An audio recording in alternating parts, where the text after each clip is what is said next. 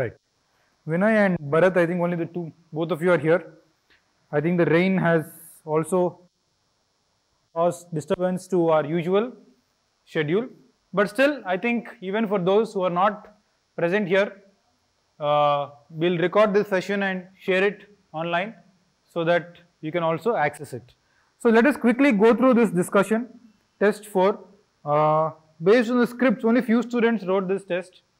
Bharat here is with me with the script. So overall, I think in general, the performance was better.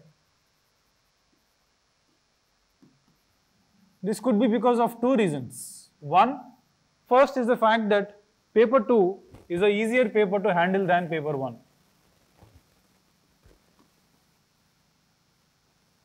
Second is practice. I think in the first test, all of you had just touched anthro after a long break, right? After prelims, you had long break preparing for prelims and suddenly touched optional after a long time, so you'll be rusty. That's also another reason why your performance would not have been as you would have liked it to be. But now, since you wrote a couple of tests, you are now in the groove. So that's also probably a reason for the improvement. And of course, third, I have also been slightly liberal in terms of evaluation. In the beginning, you are in a position to take critical feedback. But as you go, it also helps to have some encouraging response. Of course, we are not trying to encourage you even when you are writing bad, but when there is good work, having some encouragement gives you the incentive to work harder. That's the reason for the higher performance. So on this note, I think I have seen uh, couple of student scripts. Overall, there has been a better performance than the previous. And tribes is also easy topic to write. So didn't find much to discuss in terms of issues, but I'll quickly tell you where we have faced, where examples or some data can be used. That will be our focus. So the first question, we'll first begin with 1A, that is ethnicity. So again, here the idea is not that you will write ethnicity from thinker's point of view not ethnicity only from thinkers point of view or just keep on discussing how various thinkers have discussed ethnicity. This is not ethnicity in paper 1, ethnicity in paper 2. So what I was expecting is discussing ethnicity in the context of India. I was surprised why there was not much focus on this aspect, why there was not much attention to the uh, issue of how ethnicity is playing a role in the Indian scenario. So in India, we have many ethnic movements and the movements are led by an ideology called as ethno nationalism. This was missing from most answers. No discussion on ethnic movements, no discussion on ethnic ethno nationalism, and no examples. In fact, you could have given local example. Telangana movement is an ethnic, ethno-nationalistic movement.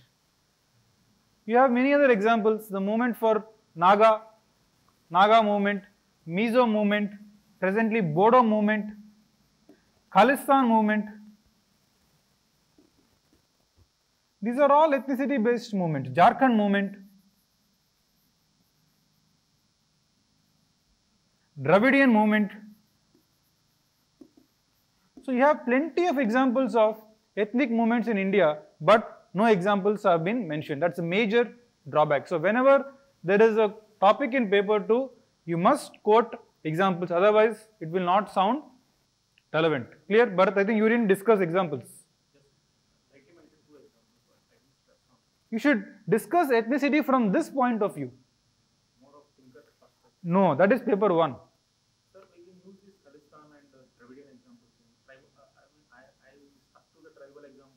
Not real Ethnicity can go beyond tribe. Topic 9 in paper 2 is not exclusively tribal. Role of anthropology in rural and tribal development. You will take many rural examples. So here you can go beyond it, but even if you think, uh, restrict yourself to tribal issues. You have so many tribal examples, Jharkhand movement, Bodo movement, Chhattisgarh movement, Nagaland movement. But for ethnicity, you can go beyond tribal issues. It's a generalistic phenomena and not just restricted to tribes. Next, B. B is about denotified tribes. Even here I was surprised to find why there was issue with right and quality content. Denotified tribes, it's very easy. In fact, if you just have to read the content given in Xaxa committee report. He has very, very elegantly covered this topic of denotified tribes. So, you have to mention CTA Act, Criminal Tribes Act 1871 followed by Habitual Offenders Act.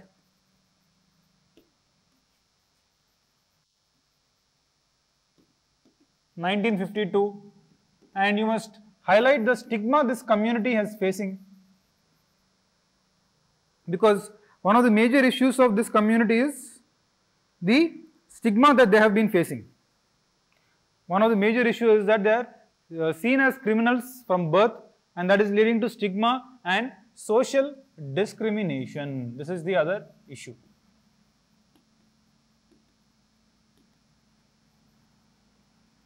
So, this was not discussed.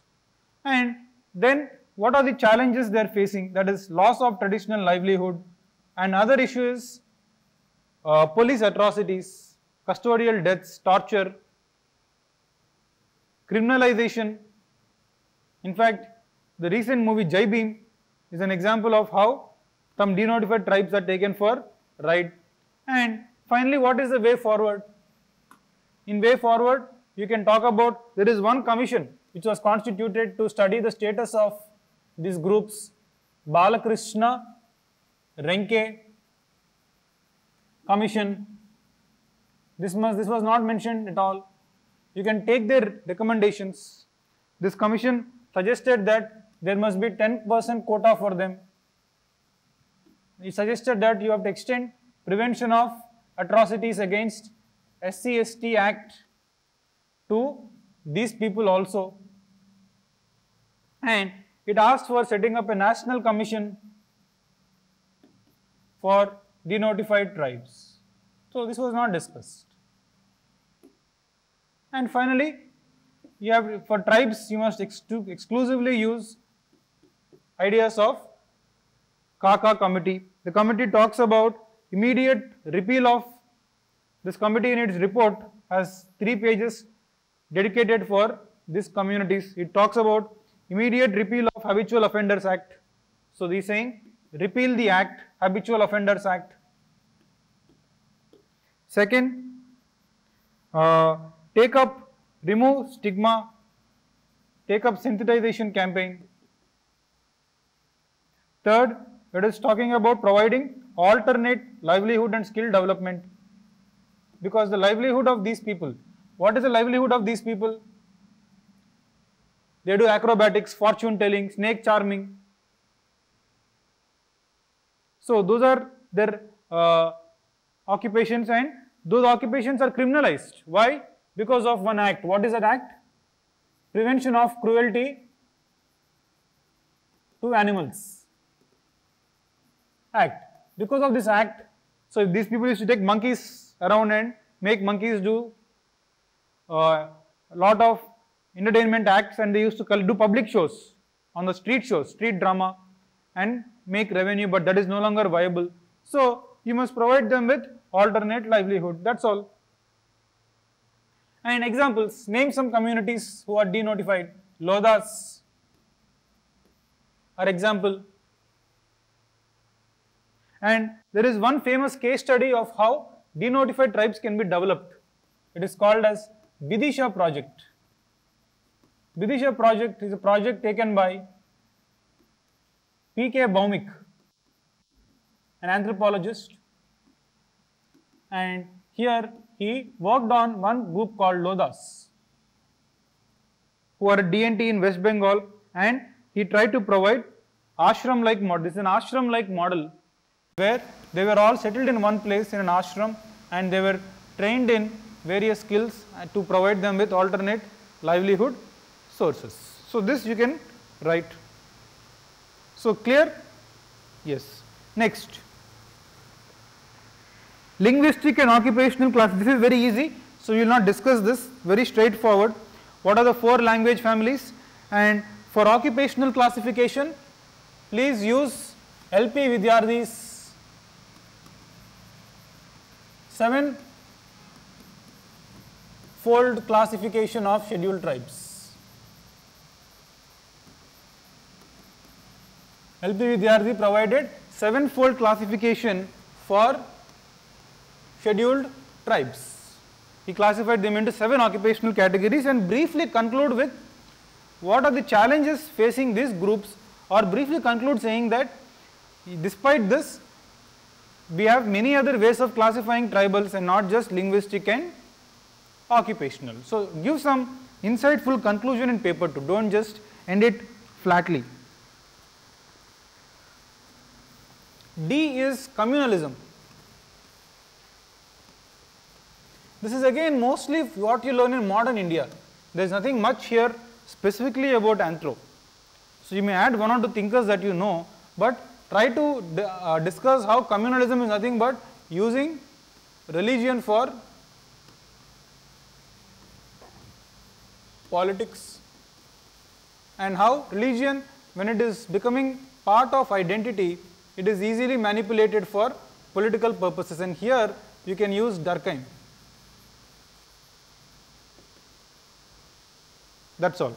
And we can discuss the communal problem in India, majoritarian communalism. You can discuss two types of communalism or you can follow Bipin Chandra's uh, communalist model. There are three types of communalism according to him, liberal communalism, extreme communalism and moderate communalism. So, you can give that Bipin Chandra's three types of communalism, three types or three stages.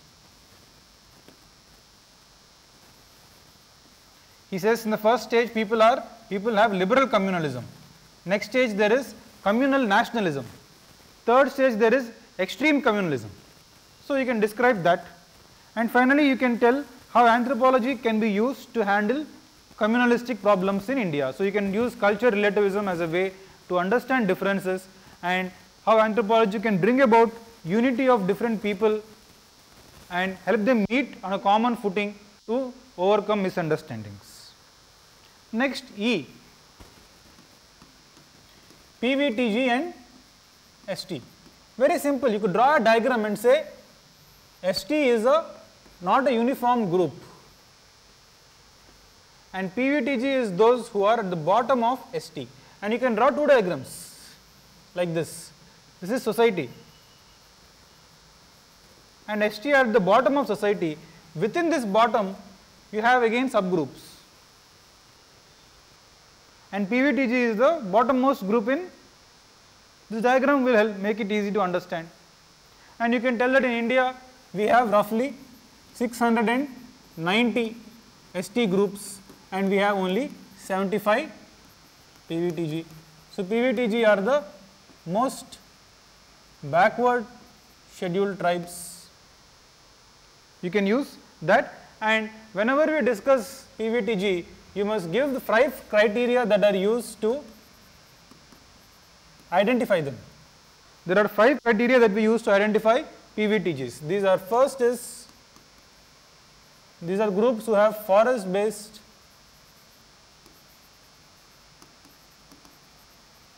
livelihood. Two, they have subsistence economy.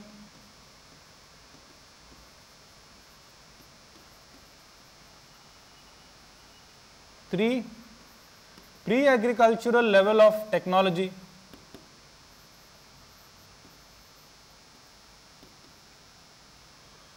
Four, low literacy. Five, they are also facing population decline that is D population. And then after basis this is this criteria was evolved in fifth five year plan. And then you can talk about the problems special problems faced by PVTG one hunger, two uh, loss of forest, three loss of livelihood, then uh, land alienation, indebtedness, poor infrastructure and connectivity. Some of them live in villages which have almost no connectivity at all on hilltops. So you have a range of challenges and give some examples of PVTG. We have many examples. Chenchus are a PVTG, A PVTG, tribes of Andaman like Jarawa, Onge, Great Andamanese,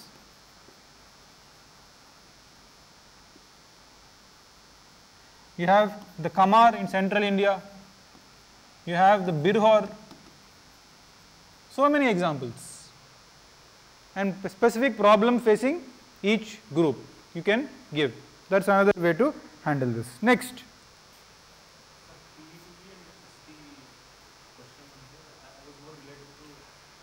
It is not comparison, it is about how, where do PVTG stand with respect to ST, Allah. So here you are giving that. So within ST, where is PVTG position? That is how we want you to address.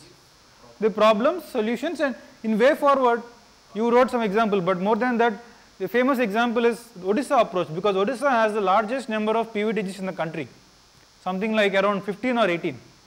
So Odisha has the largest number of PVTGs and they have done something called as micro projects. Micro projects for each PVTG. You could write that is a model recommended by Xaxa committee for other PVTGs also. So you can write that example in your answer that is not written. So micro project approach of Odisha. Next 2A tribal subplan. Again very simple. Introduced by on the based on the recommendations of Dhebar Commission as part of fifth five year plan. And tribal subplan basically involves A some funding arrangements, B it also involves certain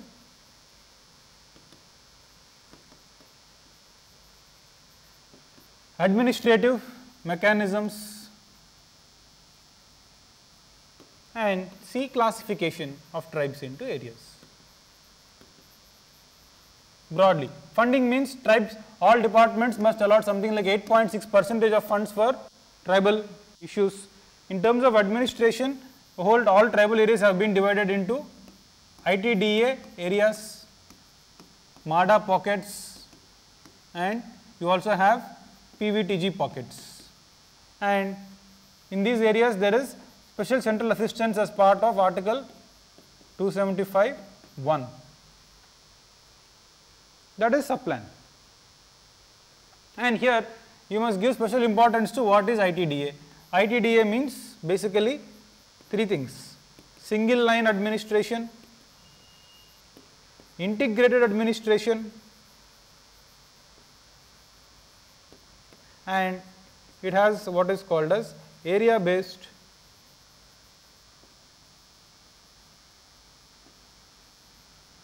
approach. that is all. And issues in the working of TSP, simple issues, funds are not enough. In many states there is no ITDA, ITDA is now present only in Telugu states, AP, Telangana and MADA PVTG pockets are neglected, article 275 1 is not implemented. So, in practice tribal subplan uh, in many areas they are using tribal subplan funds to do non-tribal works in tribal areas. If they build a big road they are saying this is tribal subplan, but the road is used by everybody. So, tribal specific programs or schemes are not being done using tribal subplan funds. So, what is the way forward? Again court committee, this committee suggests that ITDA model must be scaled up and must be used emulated in multiple states in central India, not just in Telangana AP and it also suggests that uh, PVTGs must be given uh, special attention, special focus in every state for upliftment of their status. So, ITDA and they also suggest that ITDA model must be uh, scaled up into other areas like ITDA in health, ITDA in education and so on. So, they are suggesting that this model must be streamlined. So, this is how you can address TSP, tribal subplan. for anything systematically, background, basic features, some data, problems in the working of it, way forward, that's all. No magic bullet here.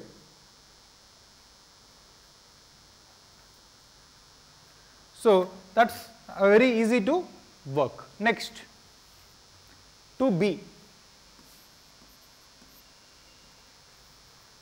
Thank you. 2b is threat to tribal languages in India. Now again, to answer this, this is a very loose question. You can't prepare and memorize answer for this. When you are writing about threat to tribal languages, first briefly describe tribal language families.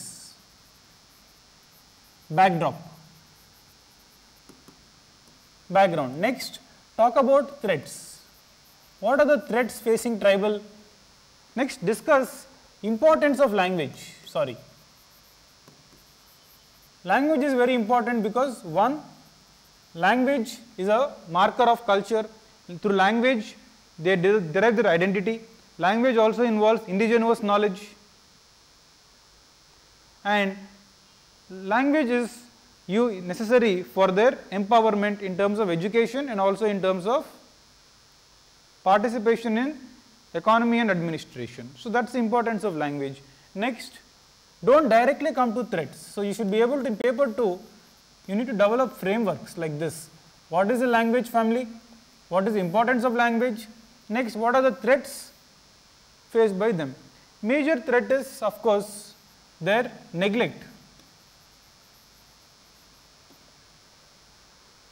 Article, for example, Article 351 of the Constitution suggests that education must be done in mother tongue, but for many tribal children, this right or this article is violated. No education in mother tongue for tribal children, curriculum is not in their mother tongue. Next, article, for example, article 29 and 30 provide cultural rights. State has the duty to protect and preserve culture, but in India this promise has been violated. Today we have the first tribal president, but tribal culture is not given importance. So, tribal culture should be given importance means you should develop scripts for tribal languages, you should print books in tribal languages, you should have tribal research institutes None of this is done. So, in the absence of state's protection to tribal culture and tribal language, then naturally the dominant language like Hindi, English or the neighboring regional language like Telugu, Kannada, Odia or Marathi tends to take over. And give examples of such extinction. For example, the great Andamanis, they have lost their language. Today they speak Hindi Recently one tribe called the Bo became extinct in 2013. Last member of this Bo tribe died in 2013. And many PVTGs are uh, on the path of, on the verge of extinction. Jarawas are one example, the Onge, even Chenchus. For example, Chenchu people today speak Telugu, they don't have Chenchu language anymore. So this is how their language is being lost and when they lose their language, they lose their identity and they are reduced to inferior status in society. That is the key point.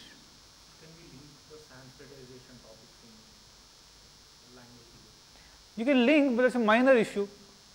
Only few people are Sanskritizing and losing language.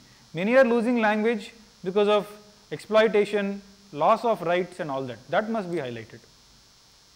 So, this is the issue and way forward. What is the way forward?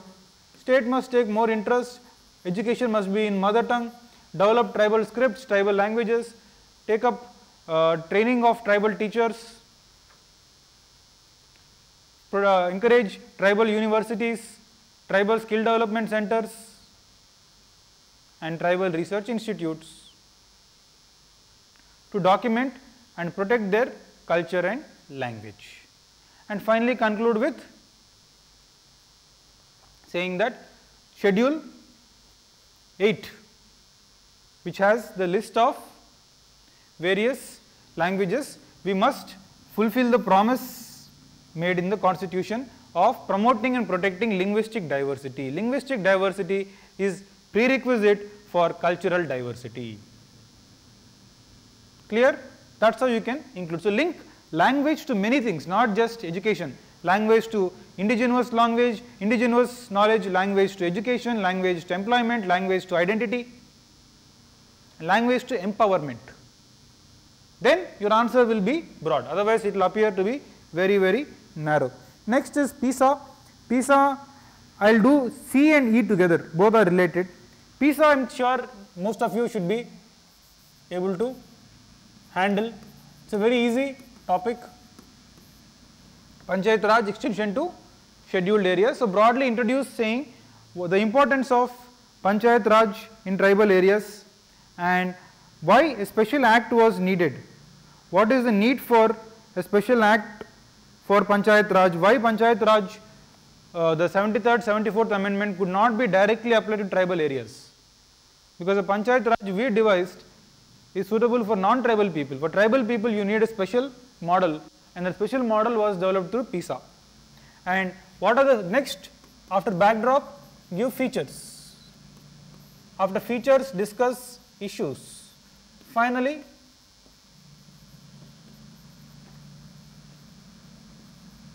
way forward that is the framework. What are the features? First most important feature is it gives lot of powers to the institution called as Grama Sabha. In Panchayat Raj, in 73rd amendment for example, Grama Sabha is not given uh, importance, only Grama Panchayat. Here Grama Sabha is made the point and this Grama Sabha is given many functions. For example, in land acquisition, Grama Sabha must be consulted, not consent. Consent comes in FRA. It must be consulted. Next, Grama Sabha can give licenses for mining of minor minerals, mining leases. Fourth, Grama Sabha is given powers to regulate and control ownership of MFP, minor forest produce. Grama Sabha also is given roles for to make development plans and Grama Sabha must authenticate utilization certificates that somebody has done some project and he has to be paid. Then the certificates must be approved by Grama Sabha. They are also given powers over many areas. Like for example they have right to prevent land alienation. They can regulate the sale of intoxicants, regulate money lending and they can manage local resources like water bodies, grazing areas, sacred groves, all of this. So, in this way Grama Sabha is given a lot of importance in this act. They can manage village markets, they are given superintendents over local functionaries like VRO.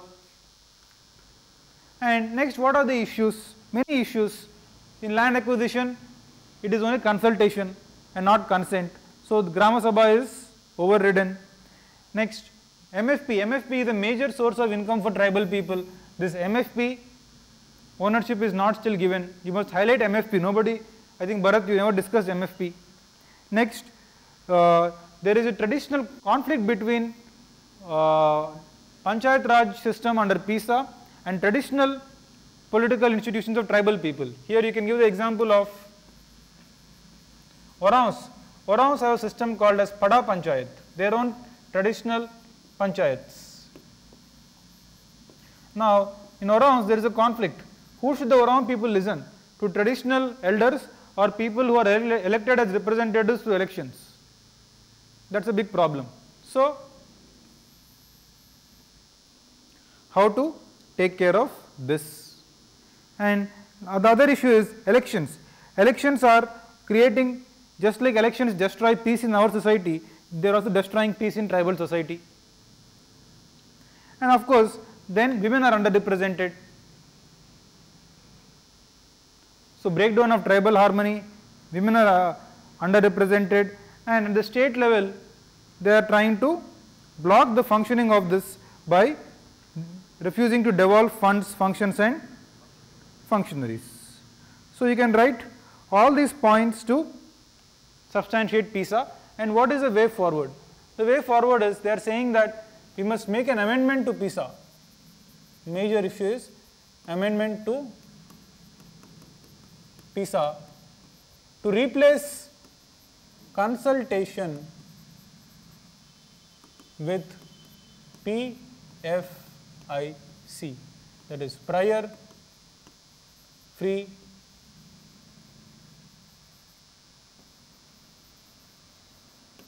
informed consent. That is the approach that is being suggested. Clear? So, that is PESA. Tribal health, many wrote well. I have nothing much to add except that you could have added some tribal health data. I will just mention data that you can use and otherwise the framework is same. Why tribal health is a problem, many examples in this you must talk about cultural as well as administrative issues, cultural issues like their understanding of health, they think if they are sick that is because of some violation of a taboo, supernatural factors, their understanding of medicine, they go to shamans, their reliance on traditional medicine. And next administrative factors like poor doctor availability, access to medicine, hospitals are not good enough, and also poor access to social determinants of health like water, nutrition, vaccination, clean cooking fuel, all of this is making their life difficult. But nobody wrote health data. What is some health data of tribal people? For example, life expectancy is only 61, much lower than the country. In tribal areas, IMR is quite high because of crude birth practices. They have very crude birth practices, no institutional deliveries, under 5 mortality.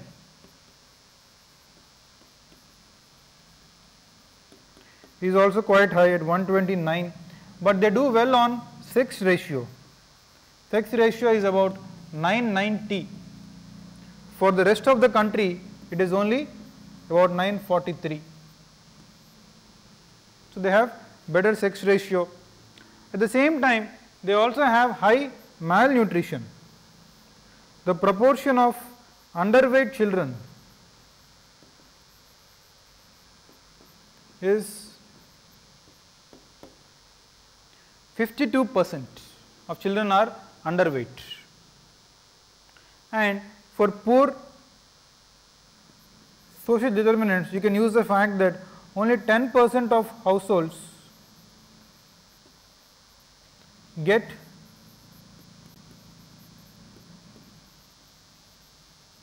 tap water. So, you can use all of these in addition you can also cite that only 32 percent of tribal women have access to institutional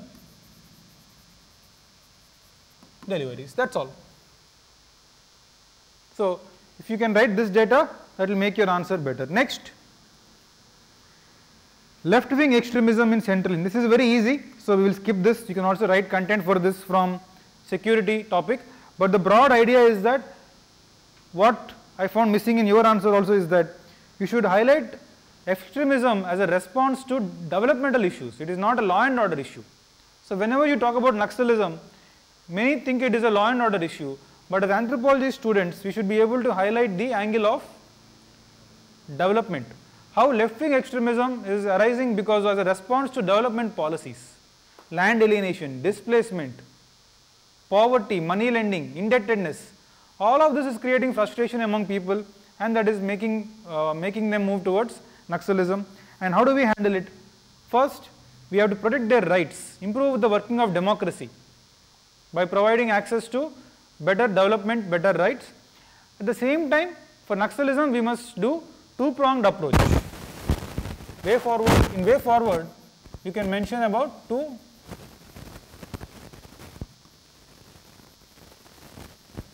pronged strategy. One is development approach.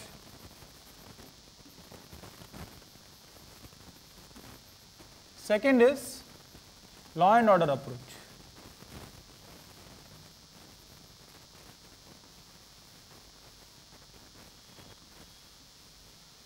One is development approach, second is law and order approach. In development approach, you can talk about providing better facilities. Second, law and order, of course, you must increase security uh, network. And here you can cite AP model, how in Andhra Pradesh model is cited as a best practice. In AP, they had done this to reduce the Naxal footprint. Today, AP state, both AP Telangana are almost free of Naxal activity. Next, 3A. This is very important, FRA. I am expecting this question this year. So, first you must start with the backdrop of forest policies. Here in this backdrop, you must discuss the relationship between tribals and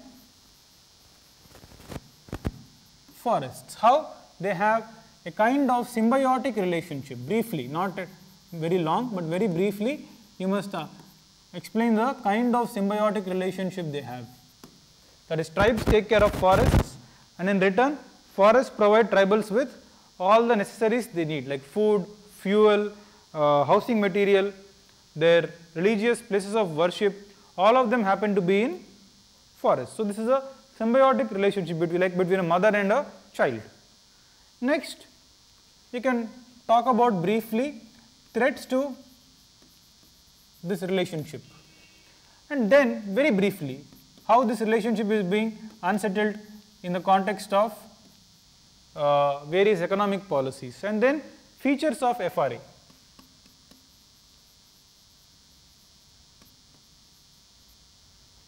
Here FRA basically gives three rights.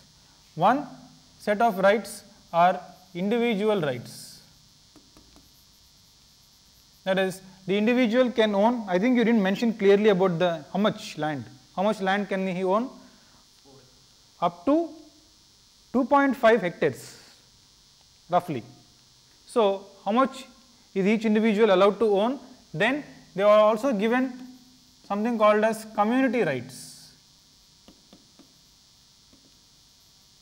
This is rights that they all have, have collectively over resources such as uh, grazing, water bodies, sacred groves, community lands, all of this, hunting grounds. Third is along with this they also get something called as individual rights, community rights and right to protect and conserve forest. This is a new right. They now have a right to protect the forest. Earlier the forest department told them you are outsider, you have no right to protect forest, but here it is saying tribals have uh, inherent right to not just stay, but also take part in the forests protection and preservation. And along with this, you should talk about the mechanism to enforce these rights, mechanism to recognize the claims.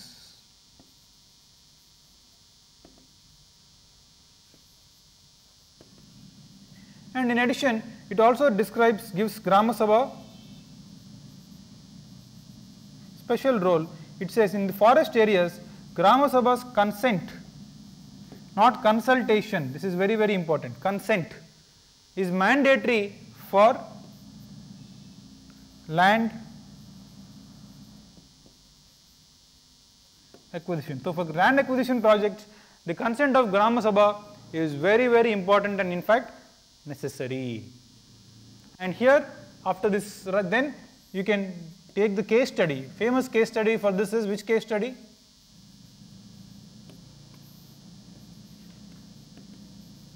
This movement is described very clearly in Xaxa report. I am surprised why this was not written. The Niyamgiri Hills movement. So, this case study can be written. And then problems in implementation of FRA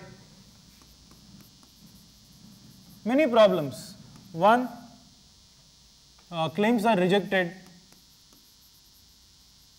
Second, you can talk about how they are using various excuses to avoid implementing this act, excuses like for example, there is one exception critical wildlife habitat.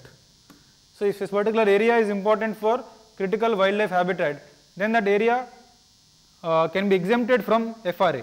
So, they are randomly declaring areas they like as critical wildlife habitats and in the process they are rejecting exempting the areas from FRA. So, critical wildlife habitat rejection 3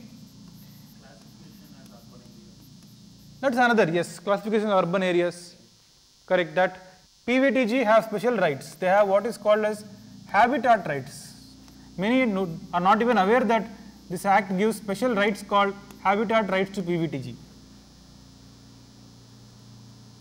PVTGs are given special rights called habitat rights. Given their peculiar nature of hunting gathering economy, they are treated separately and they are given a special right called habitat rights and this right is not at all implemented. Many do not even know that they have this right. And then things like uh, while individual rights are enforced, community rights are violated because community rights are difficult to enforce. So, community rights are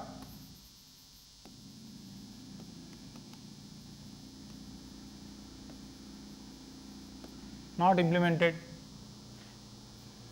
and rights of women are also ignored. Rights of women are also ignored and consent is forged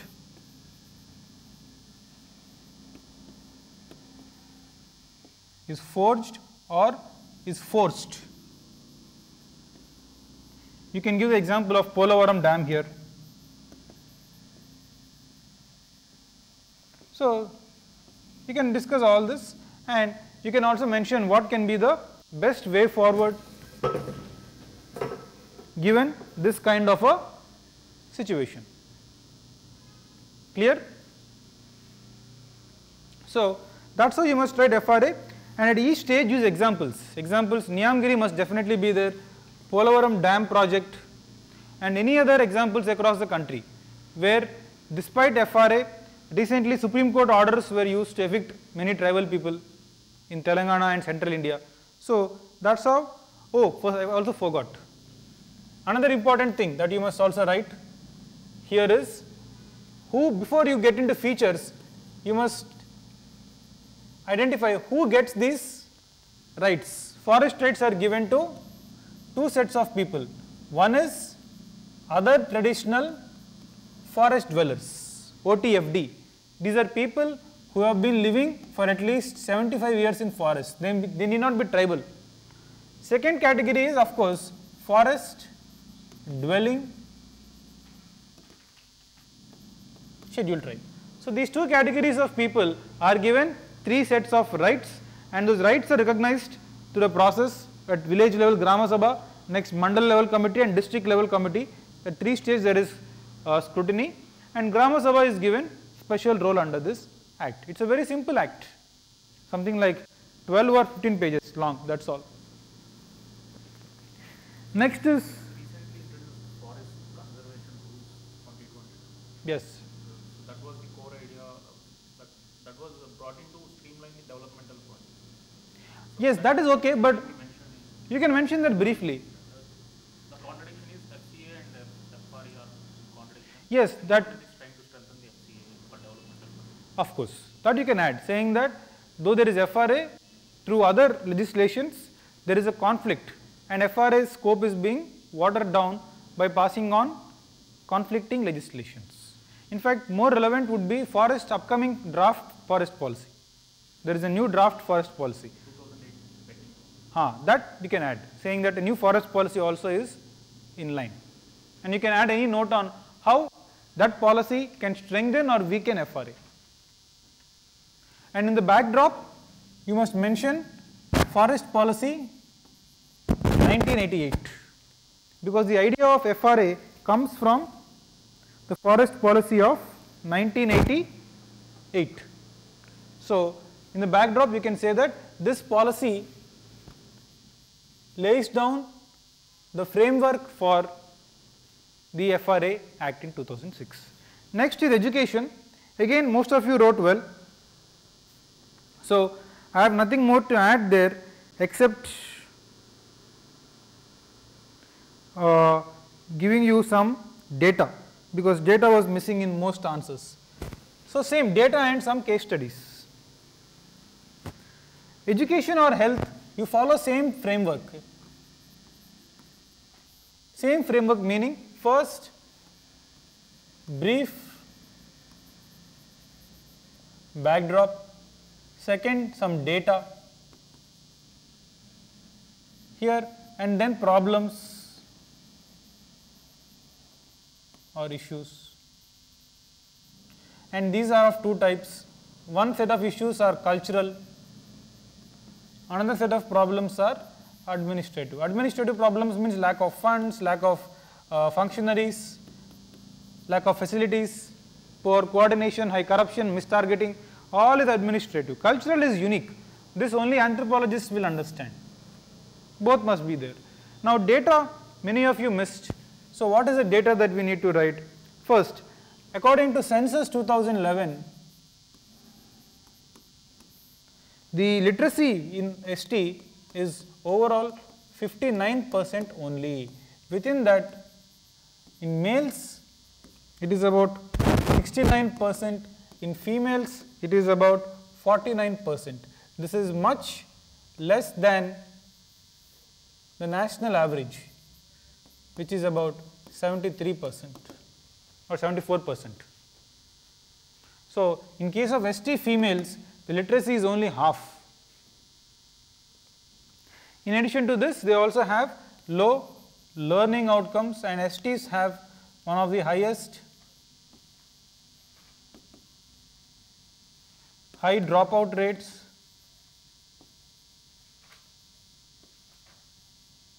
and they also have low gross enrollment ratio. So, this is how we can describe the data. Then issues cultural, in cultural you have many issues.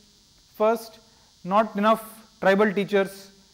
Second, tribal language is not used, curriculum is not designed for them and their curriculum is not doesn't curriculum can be used to discriminate. In their curriculum tribals are projected as people who are brutish, who are inferior and so on.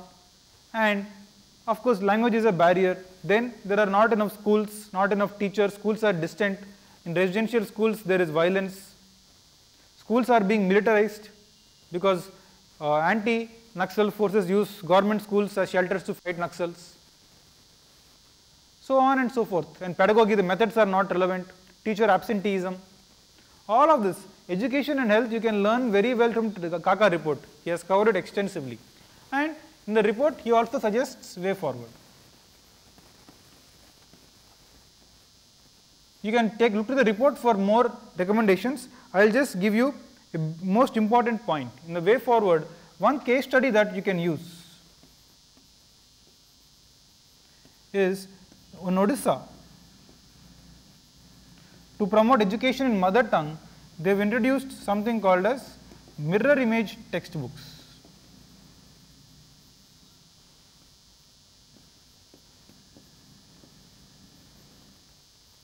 Mirror image textbooks. Here, on one side, you will have, for example, Telugu. On one side, there will be tribal language in Telugu script. On another side, you will have Telugu language in Telugu script. Let us say Savaras. For example, Savara language is written in Telugu script on one side. On another side, you will have Telugu script and Telugu language. For example, when you type SMS, నేను వస్తున్నాను in English, what does it mean?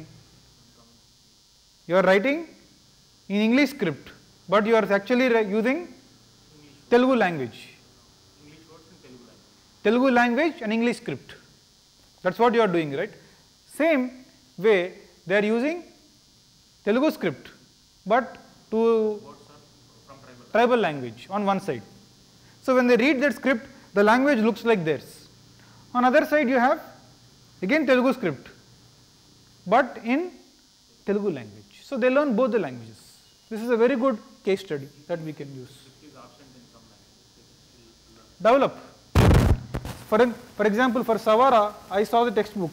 It was developed by one activist. So government must invest to develop such books.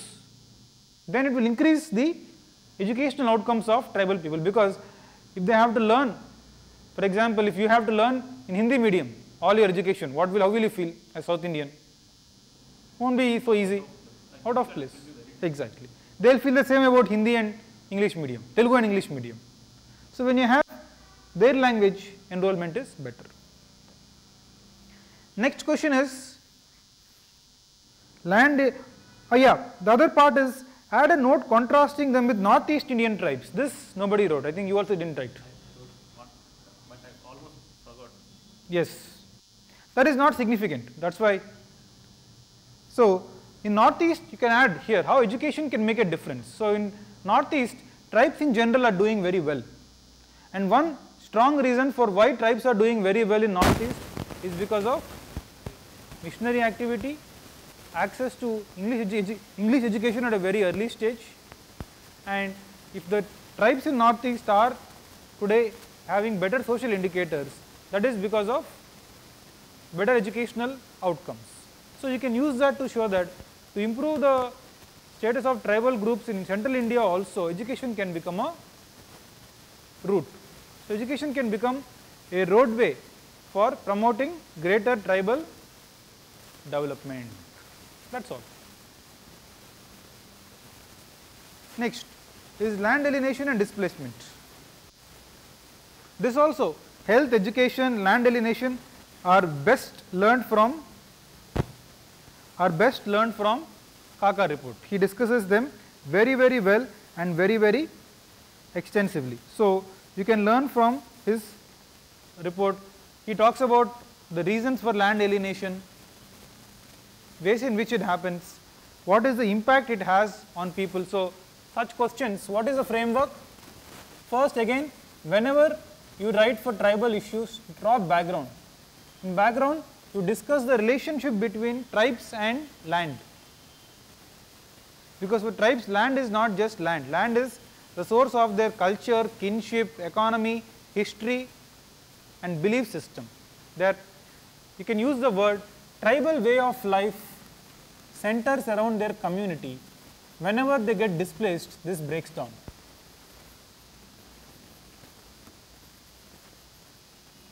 Tribal way of life centers around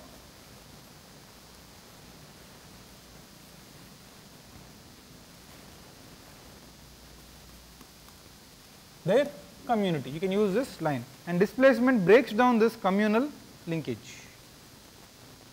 And after background, you can talk about the extent of land alienation.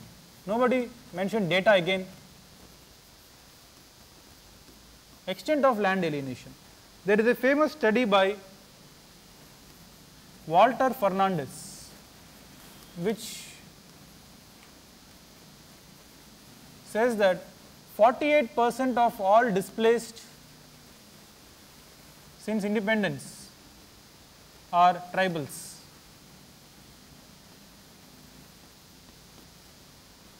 That is 8 percent of the population are 48 percent of all displaced since independence. This shows how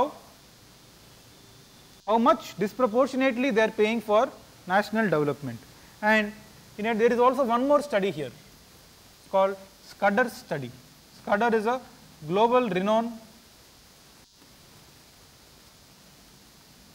person who studies tribal issue. According to Scudder study, based on detailed survey of resettlement outcomes of 50 large dams around the world, he studied resettlement outcomes of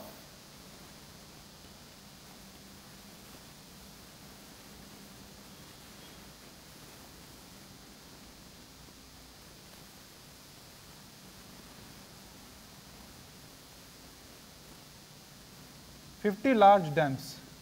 It points out that in 82 percent of the cases,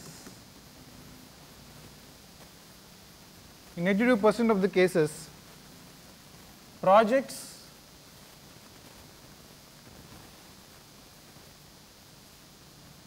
worsen the livelihood of displaced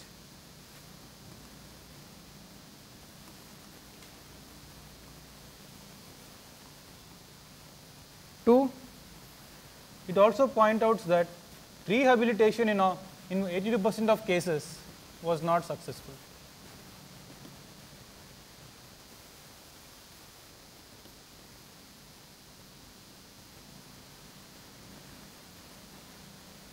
That is a very big issue.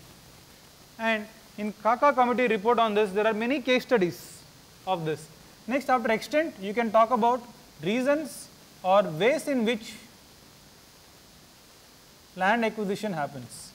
One for project, second for national parks, third through conflict, fourth through uh, revenue officials, corruption, fifth through manipulation of records, sixth through failure of administration because our land records are based on private property, but tribal ownership is community based.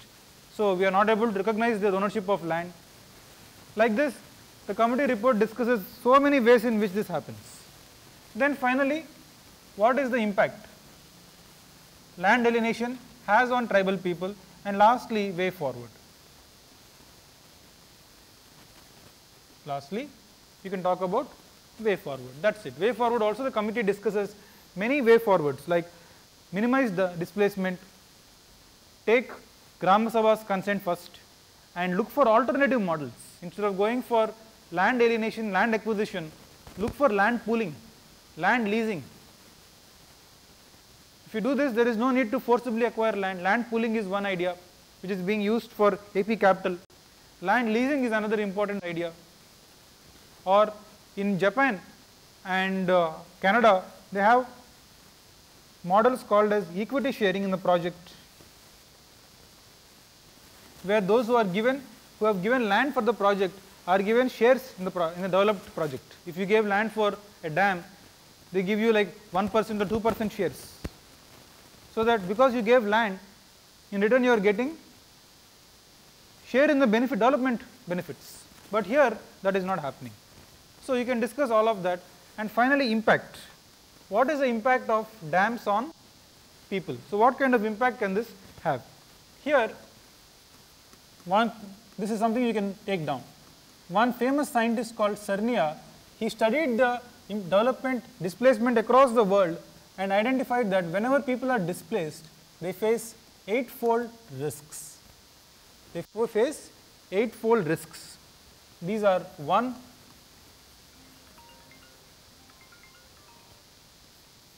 joblessness, 2 landlessness, 3 homelessness, 4 marginalization, 5 food insecurity,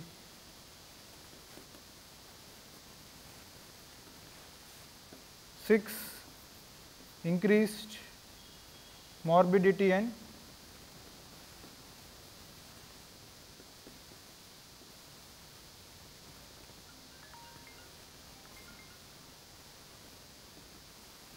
mortality.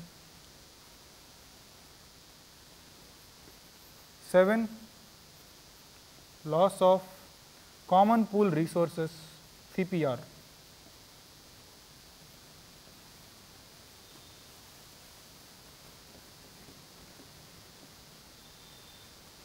Eight social disarticulation.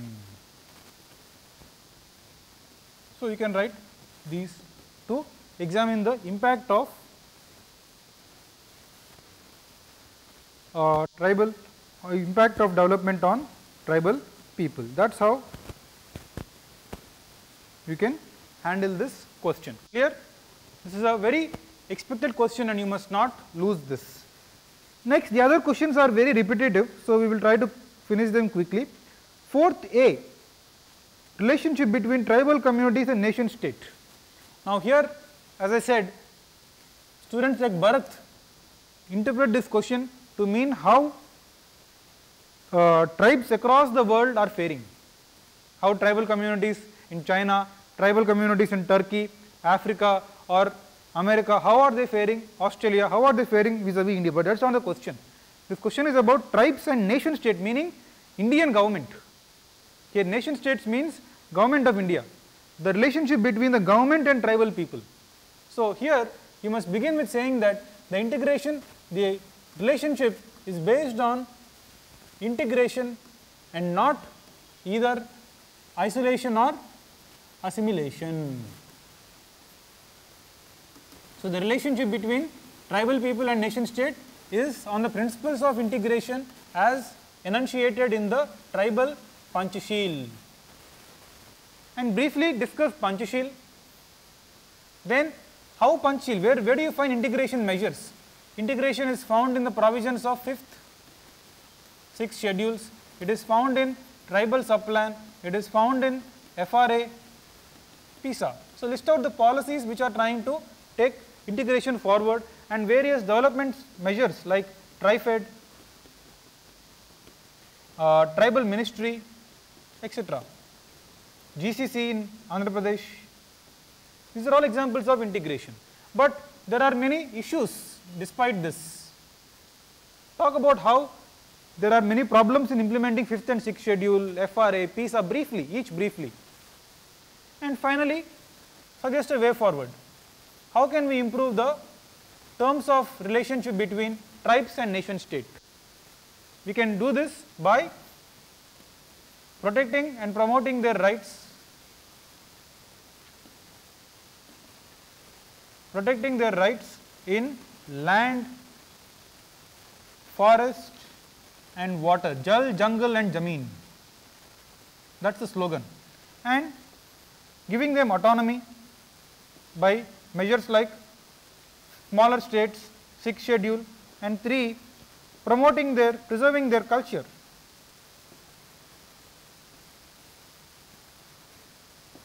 By doing these things, we give tribal people a better say in the working of the demo, democratic institution. Clear? Fourth B is very simple, NGOs in tribal development. I will not discuss this. I will just give you some NGOs examples. I posted an article in the group where various uh, important NGOs names are discussed. You will also get some important NGO names from Xaxa report.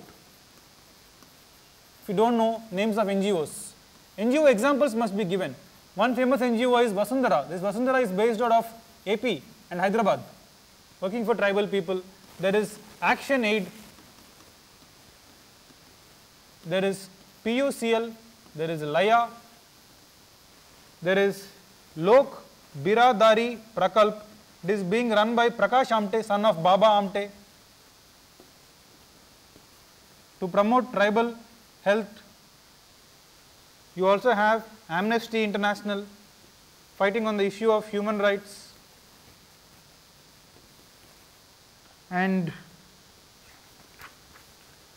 yes there is one more Indian Social Institute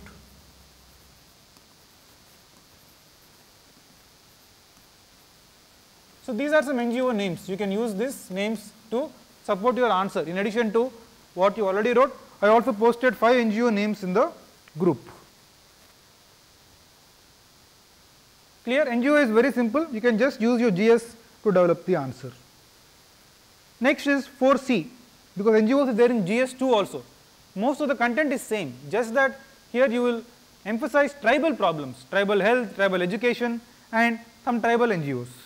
4C is shifting cultivators. Even for this I posted an article in the group, linked to an article that discusses how shifting cultivation is increasingly becoming difficult because of climate change, because of population pressure, because of depletion of forests and what are the alternatives for shifting cultivators. In fact, we have famous case study of how Riangs, Riangs what is other name for Riangs? Bru. Bru people in Tripura how they have been transitioned from uh, shifting cultivation to agriculture. How government in Tripura has taken measures to shift these people from this kind of agriculture to uh, this kind of agriculture to proper full fledged agriculture. You can also write that. And I posted an article, you can use that to substantiate your answer. 5a action anthropology. So, action anthropology is very different from applied anthropology and nobody wrote this word. This term was coined by not LP Vidyarthi, but one American anthropologist called Sol Tax. Soltax coined this term. The idea of uh, action anthropology is that anthropologist anthropology must become some kind of an activist discipline. This is like an extension of postmodernist thinking.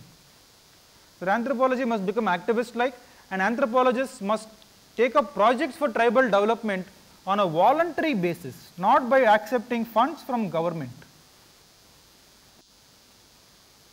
In fact, one example of action anthropology in India is what we discussed earlier in DNT, Bidisha project of P.K. Bhowmick is an example of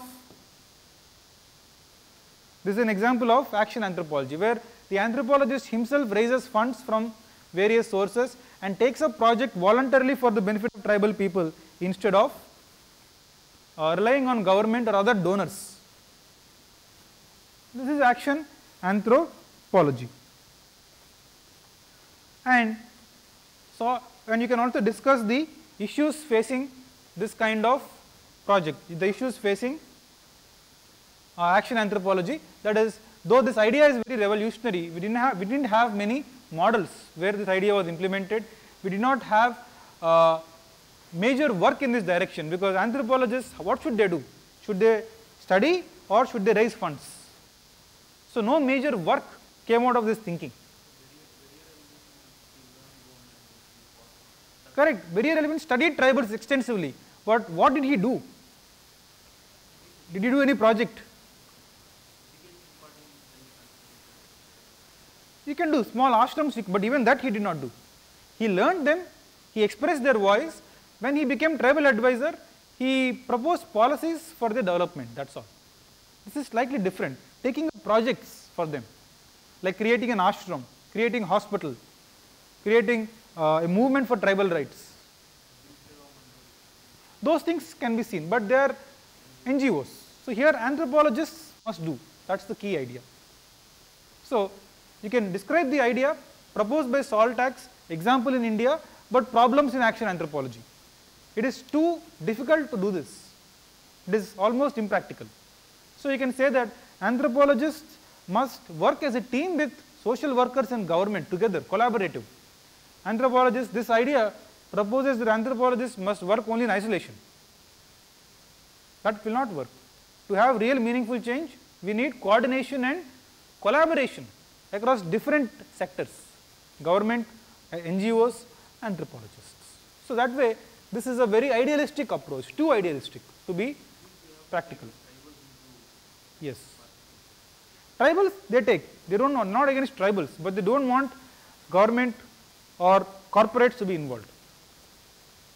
We have example, opposite examples of this, like Araku coffee, for example. Araku coffee is a major brand now. Why is it a big brand?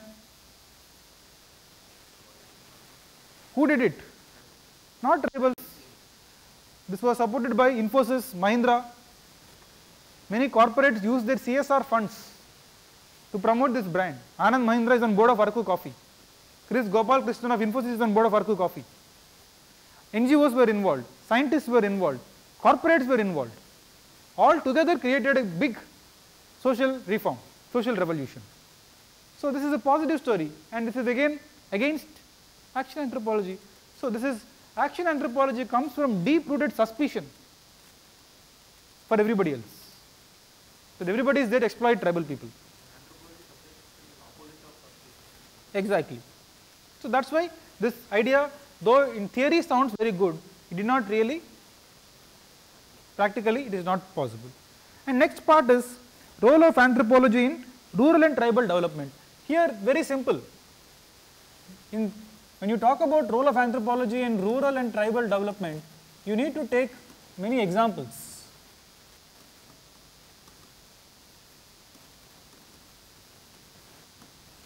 You need to take many case studies and discuss. For rural development, the easiest case studies to take are how we have overcome open defecation, Swachh Bharat Abhiyan story.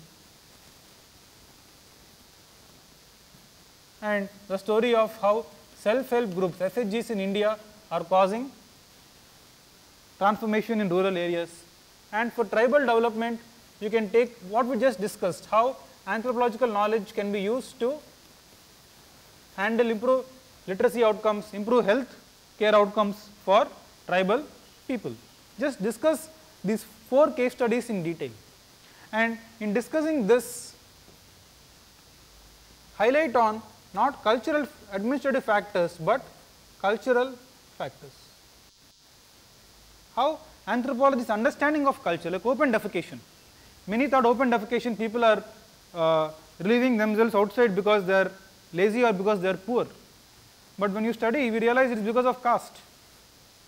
Because people have caste mindset, they think of getting building a toilet in their home as polluting. So they don't want to build toilet, even if they have money. So like this, anthropology can reveal the cultural issues which are stopping progress, which are behind various problems in the society. That's how you can write this. In fact, the next question is actually a continuation of this. It's the same question. Uh, 5b is the same issue, but asked in a different manner. The significance of cultural and administrative factors in tribal development. Same. You will use same case studies, same thing. I just asked both these to see if you can respond to the same topic framed differently. So, you can talk about cultural factors again in various areas. So, whenever questions like this come, take various areas. So, cultural factors, write first cultural factors.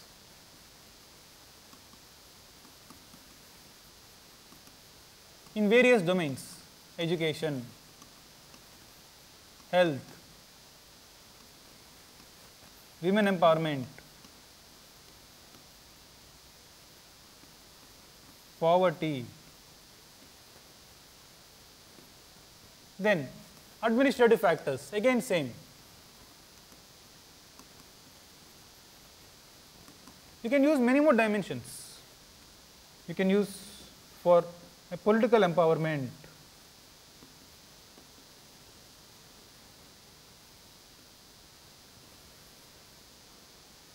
and so on. So, what are the factors in education or cultural, administrative? Finally, you will say that to ensure development in tribal areas, we need not, we cannot think only in terms of administrative factors. Generally, government tries to think in terms of administrative factors. If they if they want benefits, they will think we should build more buildings, then there will be more schools. We should give more funds, lay big roads, then there will be development. But here, this alone is not sufficient. We should also have culture. Just discuss various uh, themes and in each of them how cultural issues can be used to overcome poverty. Here for case studies in Ember and Ember there is one chapter called applied and practicing anthropology. That chapter has many examples of how anthropological knowledge was used to affect everyday change in dams, in schools to increase enrollment, to improve uh, health of lactating mothers, to improve MMR, IMR, to improve vaccination rates. How in various ways anthropology's understanding of cultural factors was used to improve outcomes. One case study we will find is about in Kalahandi, Odisha, in 90s, 96 or something, there was severe polio, but tribal people were not taking vaccine. They thought when Red Cross went to give them vaccines, they thought these fellows are coming to kill us with their syringes. So, there was no offtake of vaccination or polio medicine. After many efforts, the Red Cross people went to shaman of this tribe. They bribed him a little. And that fellow went into a trance and he says, okay, I went into a trance, I talked to our spirit. The spirit told us that she has sent these vaccines with these fellows and she wants to take them or she will be unhappy. Then people were ready to take vaccines. So, how do you address vaccine hesitancy in tribal societies? By administrative factors or cultural factors? Even for COVID there is hesitancy.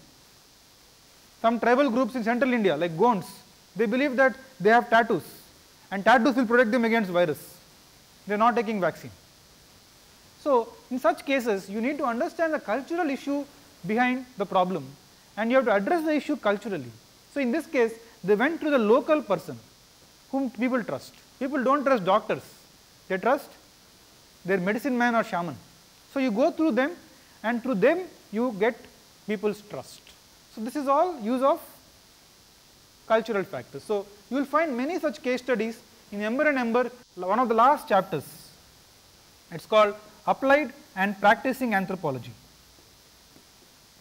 There they give extensive examples of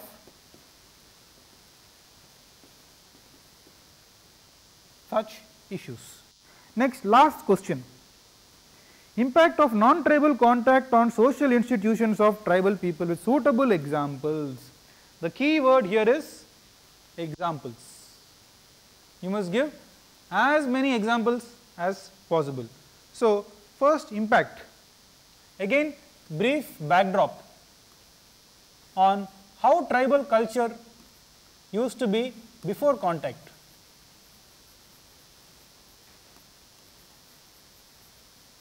Before contact, contact with outsiders, what is the nature of tribal culture? Next, means of contact, how did contact happen?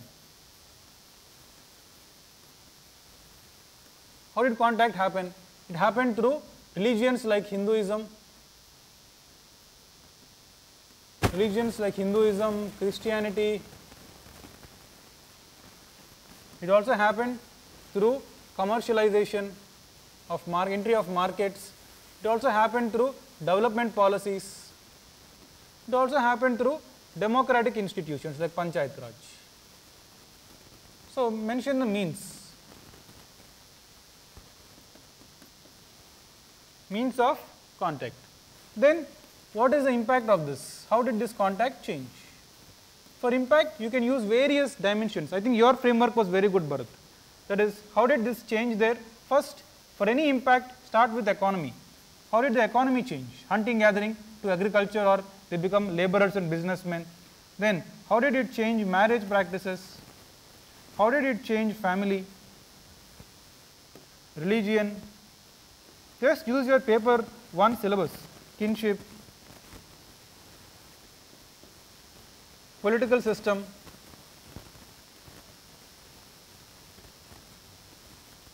how did it change their language, folklore, and what is the impact on indigenous knowledge systems, knowledge, folklore, tribal art, indigenous knowledge. You can use these dimensions and in each area you can give examples. For example, in marriage and family you can discuss how Gotuls, institutions like Gotuls or youth dormitories are becoming are becoming extinct, how marriages are increasingly becoming conservative, age of marriage is decreasing, child marriages is increasing, nuclear families are on the rise from joint families, uh, how divorce is becoming difficult. In tribal society divorce used to be very easy, but now divorce is becoming difficult. Religion, they are being absorbed into Hinduism, Christianity and tribal religion is being lost. So, just for any social change describe how they used to be and describe how they are right now that is change it is talking about change. So, to describe change you must analyze how they used to be and how they are and finally you conclude with saying that again conclude with integration policy that change is inevitable but the issue is whether change is working for tribal people or not. Change is being done in their favor or change is being forced on them. So, as long as change is inevitable and change is as per the principles of Panchashil and in tune with integration policy, there is nothing to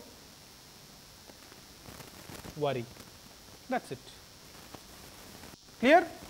So, I think that brings our discussion to a closure. I hope Vivek you are also able to follow the discussion. Vinay sorry Vinay I hope Vinay also was able to follow it. So please write there are two more sectional tests archaeology and physical anthro, we will have discussion together because archaeology is a very small topic. We will try to have a combined discussion after physical anthro test gets over. Because archaeology is too small to have a detailed discussion, we will see the possibility. Right. So, continue to write and we will meet again for the next test discussion. Thank you.